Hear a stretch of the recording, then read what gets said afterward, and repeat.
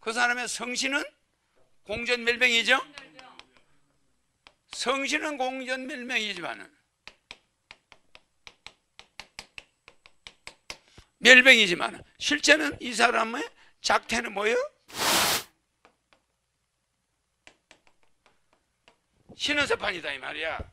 이 사람은 화면빨 잘 받아. 항상 내 하는 소리야.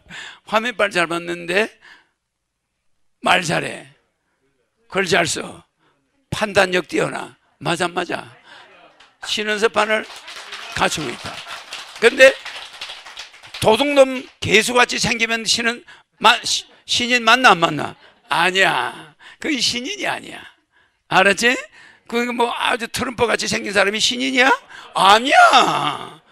어, 그건 도둑놈 두목 같이 생기면 신인이 아니야. 알겠죠? 어, 그- 그러니까 뭐 트럼프가 도둑 두목 같다는 게 아니라 도둑놈 두목 같이 생긴 사람들은 신인이 아니야. 알겠죠?